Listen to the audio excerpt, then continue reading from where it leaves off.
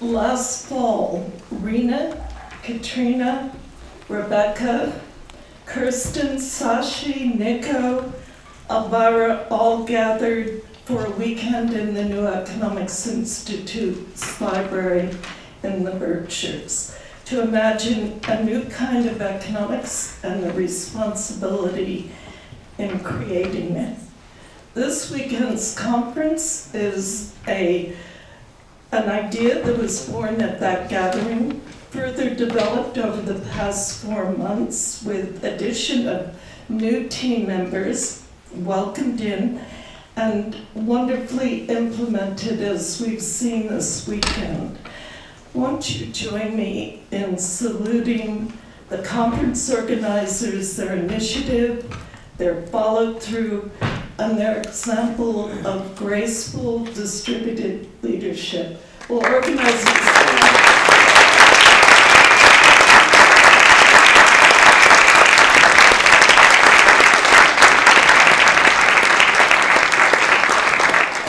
Very impressive.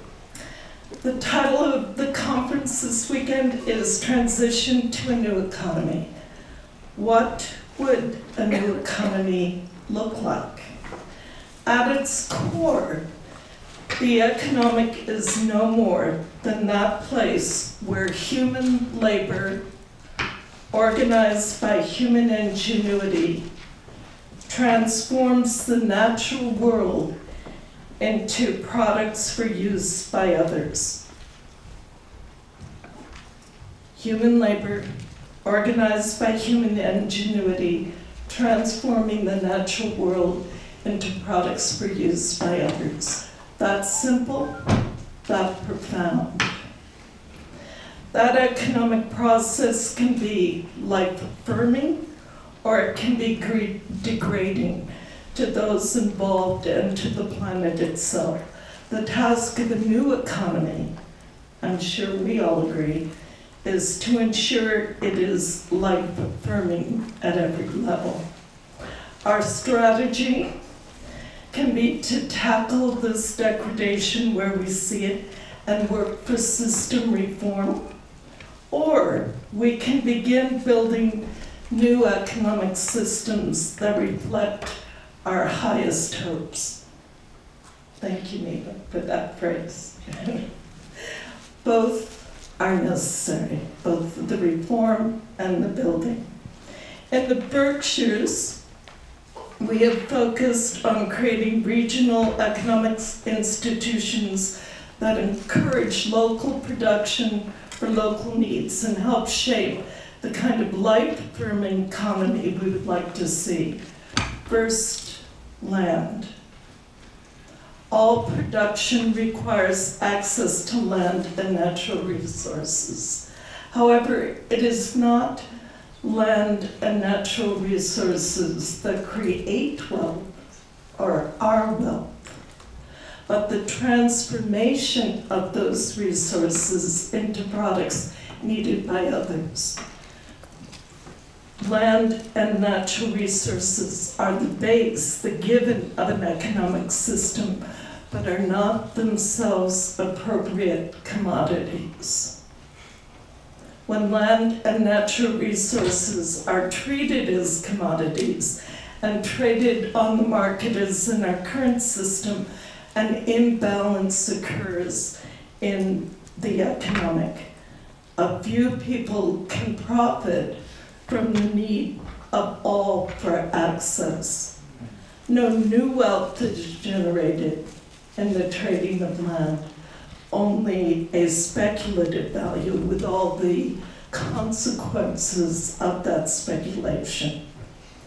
How, instead, should access to land and natural resources be allocated, if not by the market, in our new economy how do we deal with land?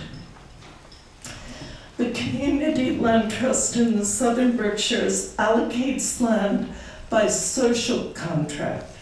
A community land trust is a nonprofit, regionally based, open membership organization with a board of directors elected from its members. Its goal is to acquire land by gift or purchase, develop a land use plan appropriate for each site that takes into consideration both the ecological characteristics of the site and the social need. It then leases those sites on a 99-year lease basis, giving security to the lessee, but not ownership. The lessee owns improvements on the land, the house, the barn, the fence, the well, but not the land itself. And at resale, the lessee offers back those improvements at current replacement value adjusted for deterioration, meaning the lessee benefits according to the rise in building costs, but not according to the rise in the speculative value of land.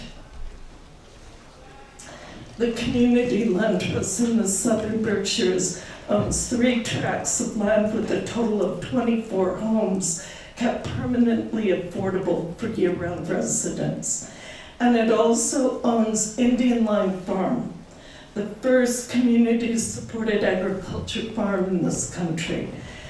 It means that a one-time investment by citizens in the Berkshires to purchase the land at Indian Line has maintained a permanent resource um, for agricultural production. The lease requires minimum crop production and organic methods. So that same approach can be used to secure land for community cannery or a solar energy site, or where's Kyle? Kyle, a, a community land trust can secure your dreams of um, a farm and a production center in Maine uh, so that you're not paying for the burden of the land debt, but the pr appropriate production on the land supports your activities. So uh, that CLT becomes a tool for the local community to do its own planning and land planning and allocation. What about money? What about money needed to finance production in these new economies, local economies? The issuing of currency is a powerful tool for communities to encourage and direct creation of new enterprises. In the 1800s and early 1900s, every commercial bank in this country issued their own currency.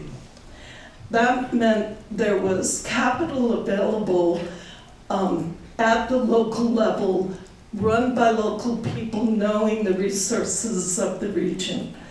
The money was ideally placed in circulation at the point of making a productive loan.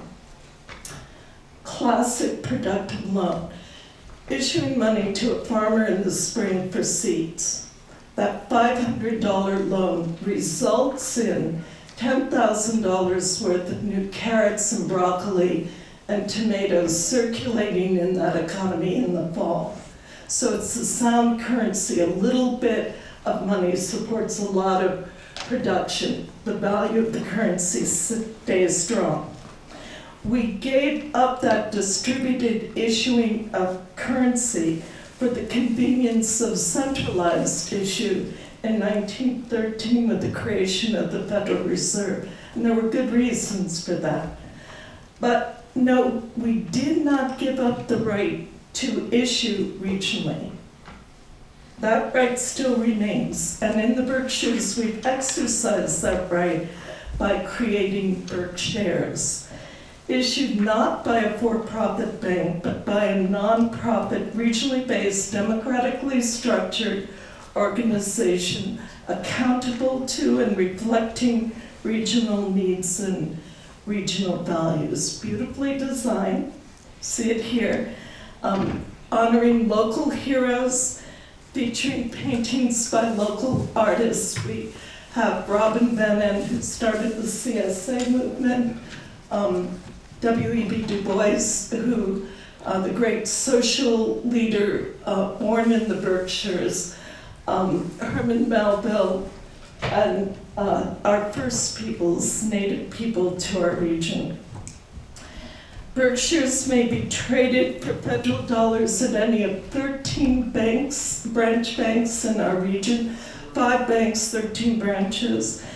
95 federal get you 100 BerkShares, which are then circulated at over um, 400 local businesses in a region of 19,000 people. Over 3.5 million BerkShares have gone out from the bank since we started in, in 2006. The next stage, to begin issuing loans in BerkShares, thereby exercising the full power of a currency creating money at the point of making loans and empowering our local community to be resilient. Richard, thank you for that word. Resilient, um, able to bear the fluctuations in um, the global economy. But what of labor? Labor too has become a commodity in reality, it's not labor that's exchanged in the economic process, but products of labor, the fruits of human labor transforming nature. We often think we're buying labor, not a reality. We're actually buying the products created by labor. And that sense of hiring labor turns worker into wage slaves and degrades. We need new forms such as the Mondragon system of worker co-ops in the Basque region of Spain, um, like the Cleveland project that Gar spoke about, which are stellar examples of workers owning and selling the fruits of their labor rather than their labor itself, changing our economic relationships. So new forms of land labor capital in our new economy. when these relationships are set right, when labor is again dignified, when land is seen as a common resource for us to steward and use wisely, renewably, as the basis for production for future generations, when money is seen as a tool for financing new products rather than as a commodity in and of itself. When the scale of these institutions, new economic institutions, are tied to a particular community of place, promoting face-to-face transactions and responsibility in our economic lives consciousness, then we have the basis for a healthy regional economy the healthy regional economy is intimately tied to a healthy regional ecology, a thriving, sorry, a thriving regional culture, a diverse and independent regional society. And when independent regional economies around the world joined together in trade, neither exploiting nor being exploited, then we have the basis for a healthy global economy. It can be done. It is in some ways our destiny in America to work with the economic, our element to move in and change or fail in the task. Gar called, asked of us for two decades of work to bring about this transformation. Perhaps it'll be longer, but a necessity. I remain grateful to the organizers of this event for taking up the challenge. Thank you.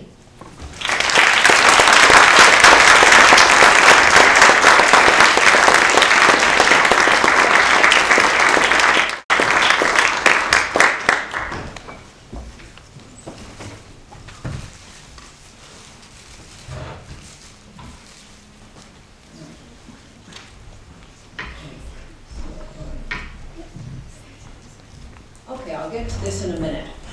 Um, I want a little history first. Since 1800, when there were 1 billion people alive on this planet, we have grown to 7 billion. In that period of time, the ability to provide for people comforts, amusements, uh, security in terms of food and other essentials, uh, education and health, the ability to provide that for people has grown to such an extraordinary degree that a much higher proportion of the people alive today can have what in 1800 would have been thought of as a life of luxury. So that is a great success story. And in brief, the explanation for how it came about was the growing use of natural resources, including inanimate forms of energy. Because as a worker has more energy and resources available, he or she becomes more productive.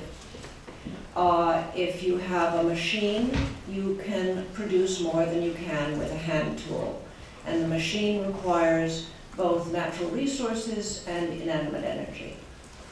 So over the intervening period, the amounts of resources and energy were constantly growing in proportion to the inputs of labor.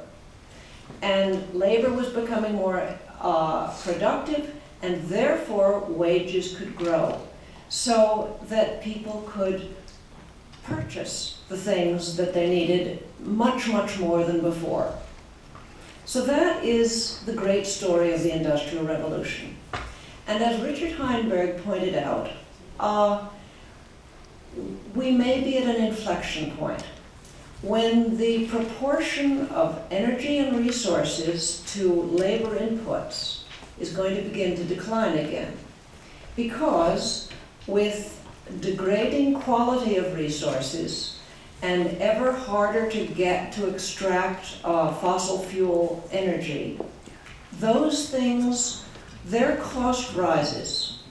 And a cost minimizing, profit maximizing producer is going to use more of the less expensive input. And comparatively, labor is going to be increasingly cheaper than the other inputs. That means the wages of labor are going to go down. And I think it is quite a probable result. So what I have up here are three possible results. And the first one uh, suggests that labor inputs will increase. And they might increase absolutely if households feel that they need to maintain the standard of living that they've had. If they need to keep earning enough to be able to purchase as much as they've been purchasing, then they're going to have to work more and more. And so you're going to have two earner house, households with each one working two or more jobs, and so forth. That's not an attractive proposal. Uh, most people would really rather have less than the standard workday and more leisure time. So the second possibility is that in fact people don't work more Supposing we hold the labor input constant, everybody works the same as now, but everybody is less productive because of less productive resources and more expensive energy so that the producer doesn't allow the worker to have as much of these to work with. Then wages go down, total household income goes down, consumption goes down. Uh, there are people who have been talking for quite some time about the possibility that all of that could happen without declining well-being.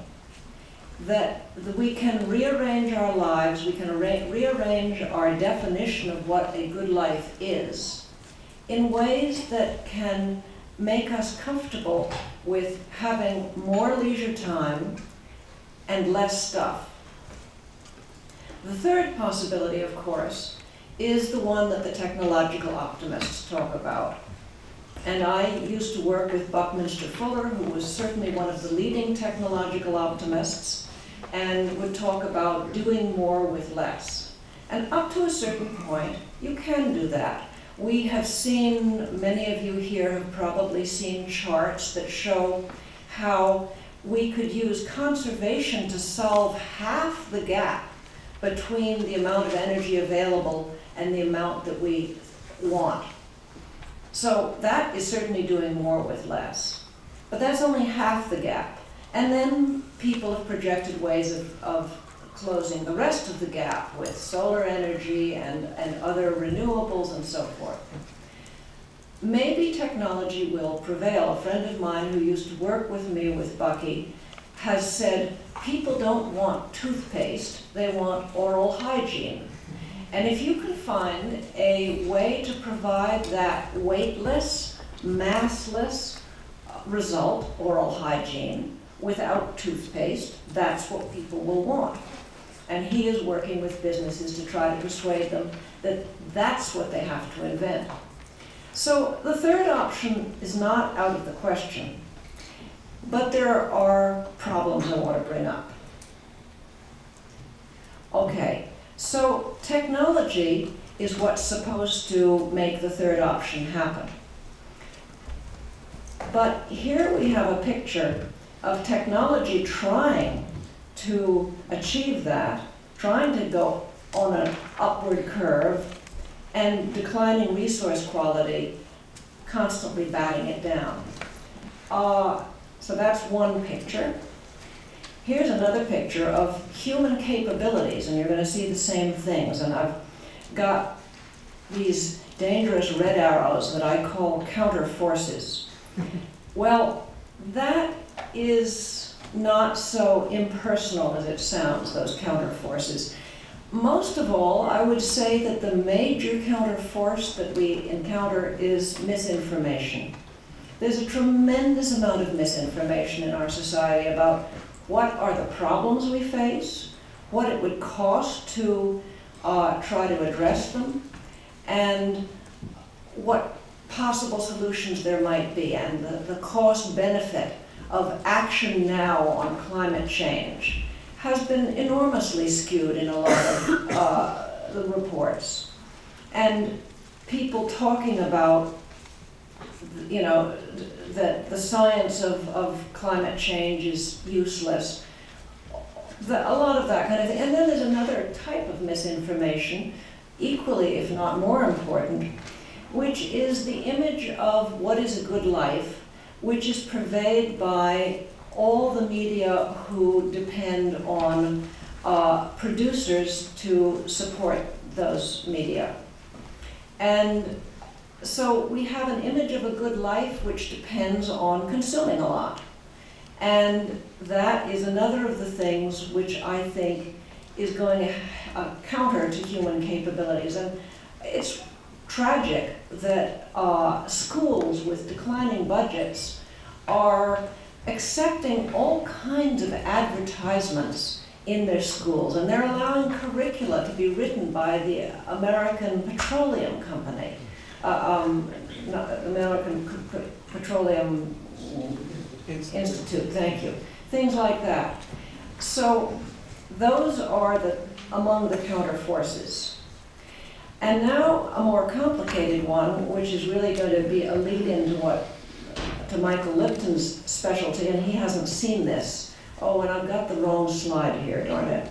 All right, so here we have both technology and human capabilities trying to move up, but it's, it's countered by three things, and one of them is population growth. Because the point of this slide is that the human capabilities and the technology are trying to increase the nutritional inputs available per capita. And so population growth makes it harder to achieve that. You've got more people to feed. Second, I put demand for meat, and I, in a later slide, revised that, so that's not what's supposed to be up there. It's use of grains for other purpose. And obviously, one of the other purposes is to uh, feed animals, cattle, chickens, pigs, etc. But another important purpose has been as a feedstock for energy. And of course, the ethanol story is, you know, uh, a quarter, I believe, of the grain grown last year, of the corn grown last year in the United States, went into ethanol. That was a huge drop in the amount of uh, corn that could be available uh, to feed people. Of course, a lot of that goes into high fructose corn syrup, which is not a good thing either. But in any case, the red arrows are the other types of uh, demand for the products of agriculture. And the brown arrows, I originally put in soil depletion, and I was feeling optimistic, so I only put one of those brown arrows in because I was thinking people are discovering more about how to farm in ways that don't deplete the soil. And then I suddenly remembered water. And of course, water is as critical as soil for agriculture, and the declining quantity and quality of available water is another of the tremendous challenges that we face. So, that's all my slides. Um, and I think I'll stop there.